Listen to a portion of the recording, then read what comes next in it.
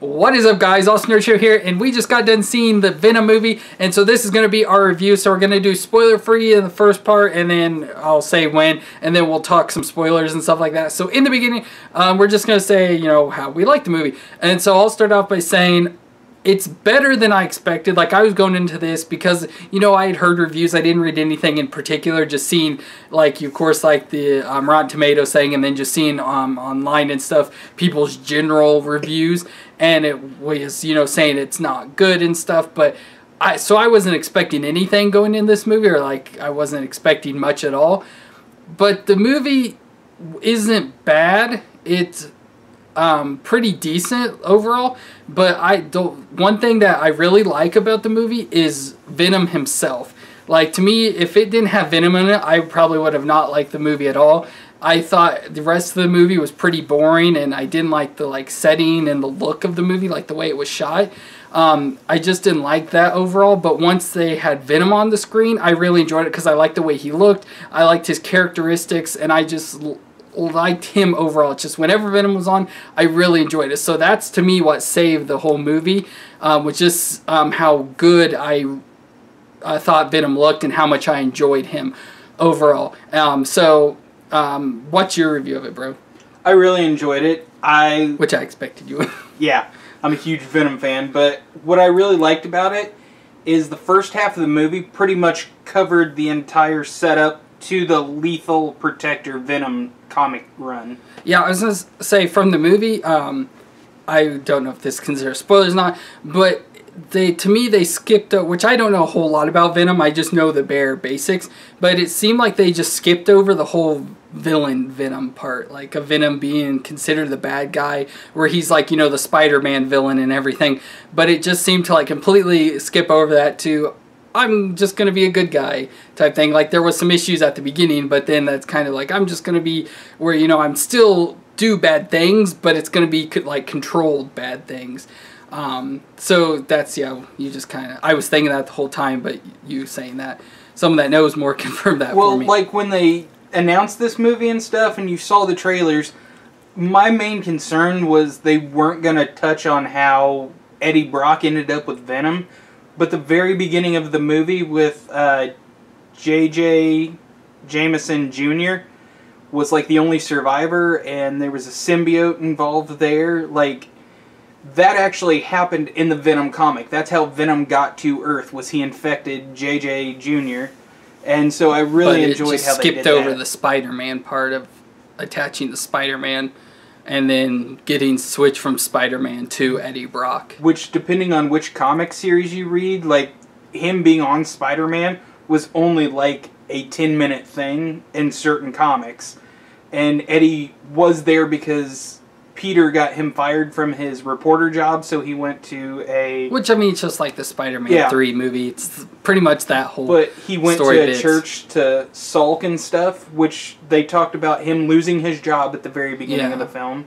In New York and and running away or whatever they mentioned he did for his girlfriend in San Francisco or whatever. And then another nice little touch that they had in the film that I really enjoyed from the comics that most people wouldn't understand is they mentioned that Eddie had brain cancer, which in the oh, comics Eddie does have cancer, but Venom helps subside the effects of it and yeah. keep it from um, killing him. So that kind of, I guess, just gives you overall. Like I said, I don't know what to say a whole lot about the movie. Um, like I said, I just really enjoyed Venom. The rest of the movie, I, you know, yeah, you have the whole backstory, which I did like. Because, like I said, I know, I personally know very little about Venom, but the stuff I did know because of stuff I've read about him, they did touch on that stuff in the movie. So I did enjoy, you know, it may not be a perfect adaptation from the comics into a movie, but they at least hit a lot of the parts and stuff. Um, but just in the spoiler-free part, I'm just going to go ahead and give, I guess, a rating. I don't know. Um, I'm not good at rating things, but I'd probably say about, um, I would say a 6 because, and I mean on like a true scale of 1 to 10, where 5 is just like, you know, an average movie. It's not good. It's not bad. It's just right in the middle. But this, like I said, because of Venom, knocks it up a step for me. Um, like I said, I really want to see Venom more. Like, I want to see him in it. Like, the whole time when it was just showing, like, the fight scenes with him, I was like, I can't wait to see that version of Venom fighting a spider, like one of the Spider-Man. So like Tom Holland or whoever they do, whether it's a new Sony one or whatever. I want to see him fighting a Spider-Man uh, character, and so that's what kicks it up. You know, just for because the rest of the movie was just an average movie. It wasn't bad. It wasn't good, but the Venom knocks it up some for me. What would you give it a rating? I'm gonna go with a nine. Which I figured you would. And the only reason I say that is because my biggest gripe with superhero movies is they always start with an origin story film. And me being a large comic book fan, like I know the origins, so they're so boring to me because it's so slow at the start and Yeah. everything. And like everyone loved uh, the first Avenger, Captain America. That was very boring to me because I already That's my favorite Cap- Avenger movie of all of them. But of I- course, I'm a Captain America Yeah. fan, and I love the older Captain America compared to new Captain America. but it's like all the Fantastic Four films. Like they weren't bad. Like everyone says they're bad. They were okay, but this origin story was the most intriguing out of all of them. Yeah. So now with that we're done with uh, spoiler free, I guess we'll get into spoilers. We're actually just going to talk about some of the plot and everything. So this is your spoiler warning. So stop watching now if you don't want to know anything. But we're going to get into spoilers now.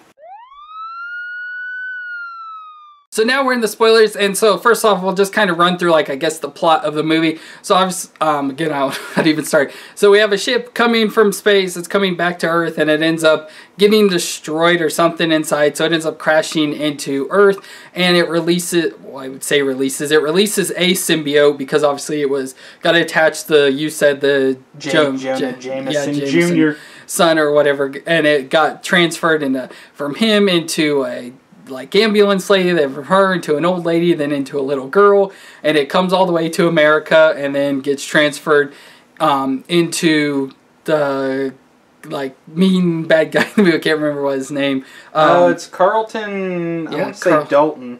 Some- oh, Carlton Drake. Drake, yeah. Um, so gets transferred into him, and then that, of course, becomes the big villain of the movie. I guess it's not around for very long, but um, Riot, which is one of the symbiotes, and so it was that ship was bringing back out. I assume it maybe went to what is it, Cly- Klyntar, Clytar. Um, They said they found it on an asteroid. okay, so this, you know, there's a planet called Clytar. Klyntar. Something like that. I don't know. It's a weird spelling, and it that's where all the symbiotes live. It's like their home planet, and you know some come to Earth. You know, I guess this way it's from the asteroid or whatever. And so they've contained the specimens of the symbiotes, and it comes to Earth. Which I did notice that they all everyone said symbiote in the movie. Where in the commercials, like when they first released the trailer, they would always say symbiote. Which that was the whole thing when the trailer first came out. Like, why are they saying it so weird? Even though I guess the like true pronunciation of is called a symbiote, but we call it with our dialect or whatever symbiotes. But um, I just noticed that in the movie. Um, but it, you know, they come to Earth with I, they think they said three versions, and then the one that escaped was four. That or they had four, and the one escaped was five. I don't remember, but three or four, somewhere around in there. And they, you know, gather those specimens that didn't escape and bring them back to um, San Francisco, where of course the movie takes place, and they start testing them on people because I, by the way, it seemed like the Life Foundation, which was the bad guys' company and stuff, which reminded me a lot of. Um, What's his name? The uh, Elon Musk, like with Tesla, seemed a lot like the Life Foundation, and then the guy was like Elon Musk and stuff. Which, of course, with all stuff going on right now, is kind of funny. Um, but uh, so they're trying to test to put these symbiotes in the thing because they live on another planet, and so it seemed like they're putting them in people so that um, and can like form to people. So if they can survive here on Earth and with uh, them inside a person, the person should be able to survive on their planet. And so I assume they're trying to set up this whole thing. You know, Earth's going to shit, and so we need to find a different place to live, kind of thing. That's what it seemed like. You know, it's got good intentions, but they're doing bad things to get there. And so, of course, they start testing symbiotes and they just keep like killing people and not working and everything. But every now and then they're like fitting into certain people and they're testing on like homeless people and everything. And of course, Eddie Brock, being a news reporter and everything, gets into the company and he finds out that people have died. And so he starts asking. And that's when it shows in the commercial, he gets kicked out and all that sort of stuff. But he gets snuck back in by one of the um, doctors working on this whole thing because she feels it's wrong that they're just, you know, before they're doing much testing, they're like, you do it on humans and stuff. Of course, the bad guy is. And so she's like out like this. So she brings um, Eddie in, and he's you know looking around and gets comes in contact with this homeless lady he knows from on the street he lives on or whatever. And she ends up spreading the symbiote to him, which turns out to be Venom. And so then he, you know, starts to escape because all the security's come after him.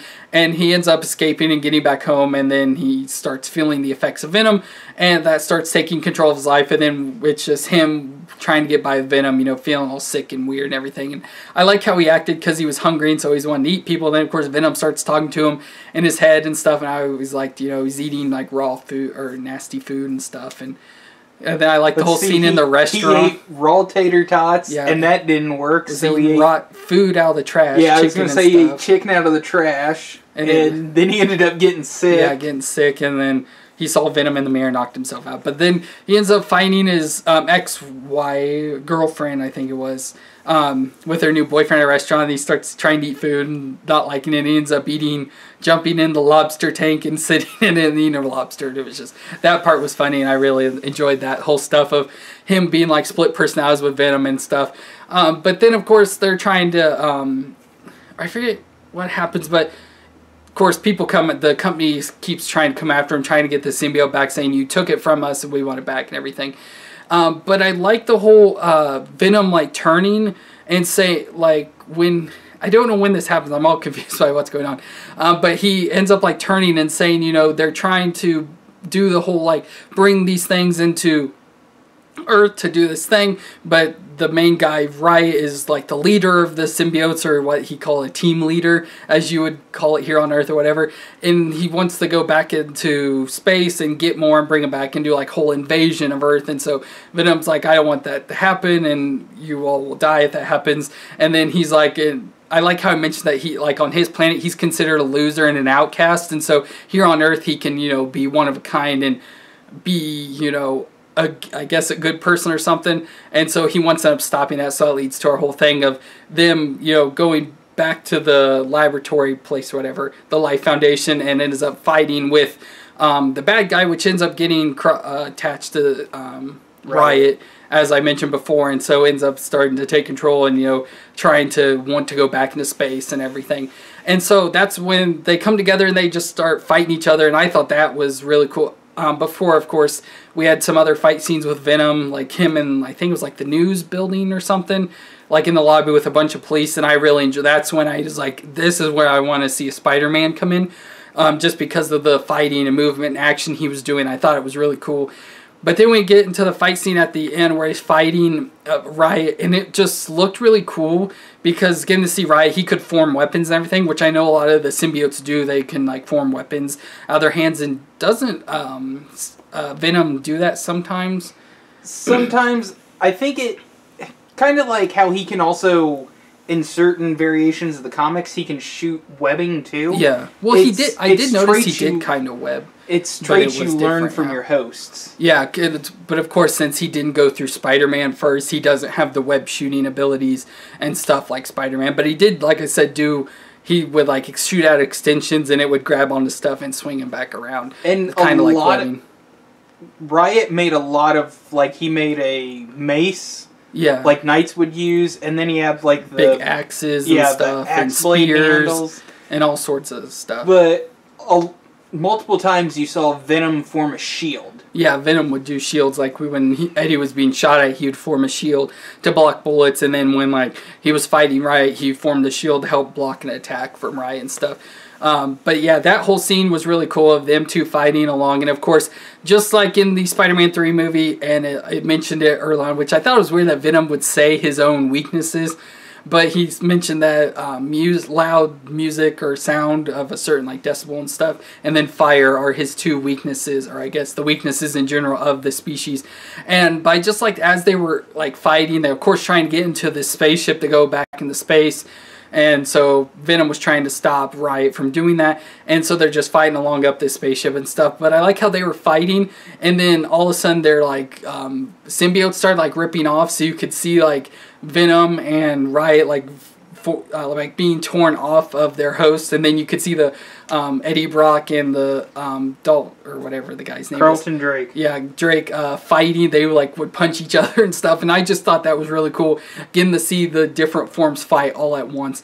And then of course, um, of course, skipping ahead some stuff here, but um, the uh, Bro- Eddie Brock's girlfriend, ex girlfriend, whatever, ended up you know same day because they had told her that's when Venom mentioned that his weaknesses of fire and um, sound and stuff, and so she ends up attaching to like the sound system, whatever, and like turning up the volume, so it ends up separating the two, and you know causes a whole separation, and Eddie ends up getting stabbed by Riot because um, it, the uh, symbiotes fall off of them, and so Eddie's no longer invincible, I guess you could say, because he no longer has venom in him, and so does the other guy. But he's able to get his back on first, and as Riot, and Riot stabs him and supposedly kills him, but Venom ends up slinking back to him and saving him, I guess. But Riot gets in the ship and starts to escape, but Venom quickly comes back as Venom and climbs up and ends up breaking the ship or whatever and like clawing it, I think it was. Or No, some- he used the spear that right. that's right, yeah, because they pulled the spear out of him, and then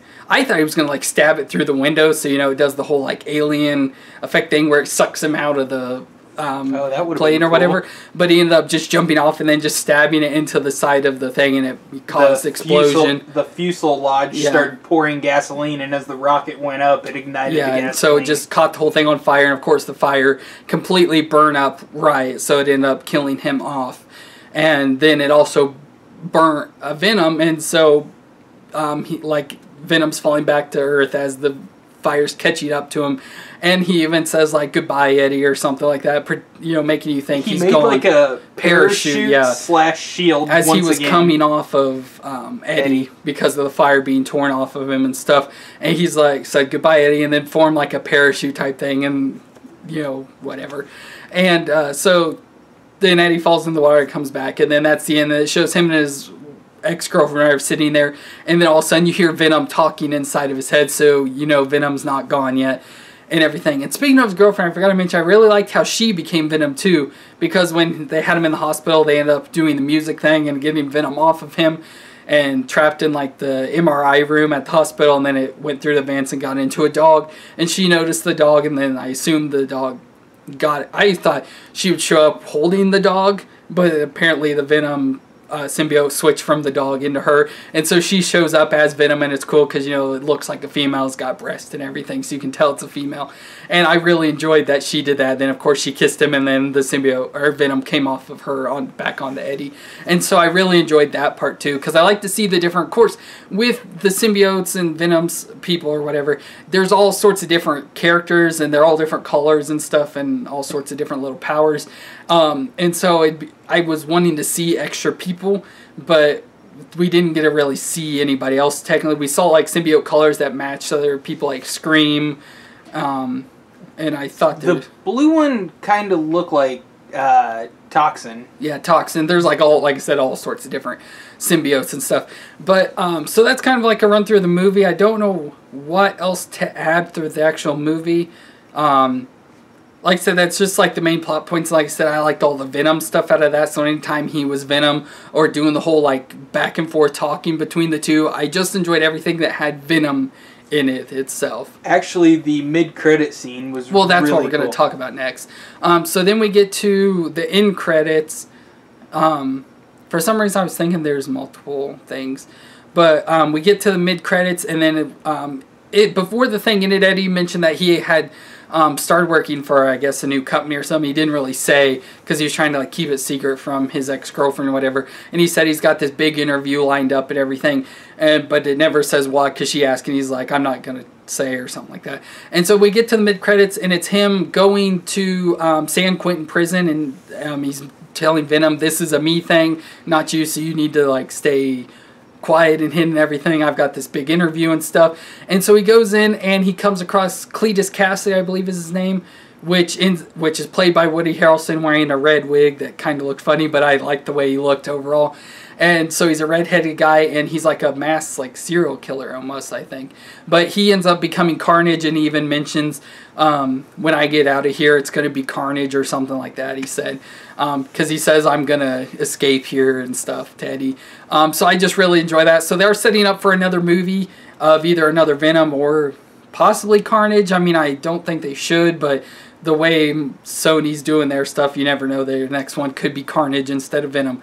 Um, but I think that'd be cool to see a Carnage movie, which is just a red version of Venom, in there. And so that was your mid-credit scene. Did you want to add anything? No.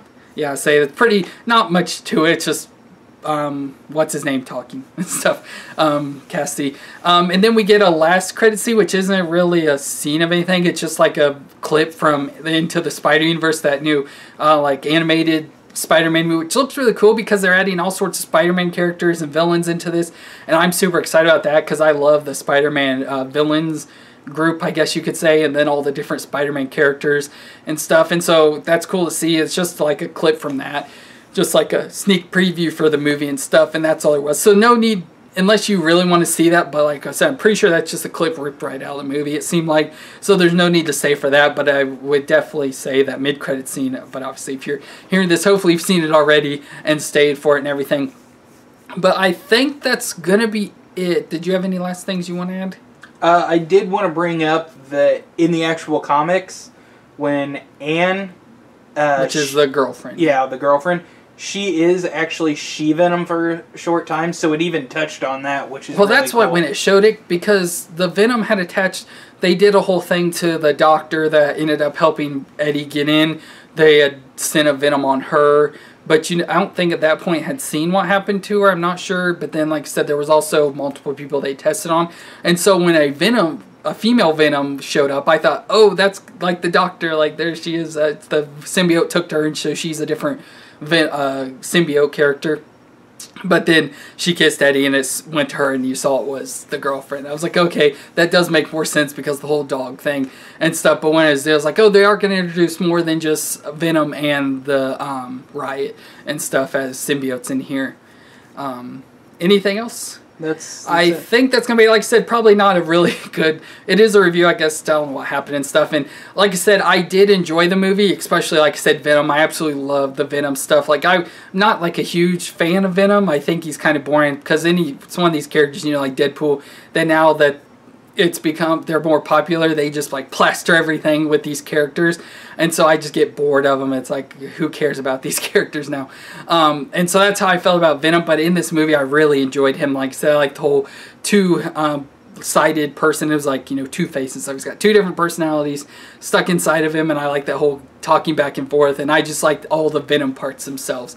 That's what really saved the movie for me and made me enjoy it even more so I think that's going to be it for our review. So I hope you enjoyed and I hope you enjoyed Venom. If you did, be sure to let us know in the comments down below whether you did or did not enjoy. But if you like our review, be sure to leave us a thumbs up and don't forget to subscribe to see more movie reviews in the future. And I want to thank you for watching and we will see you next time.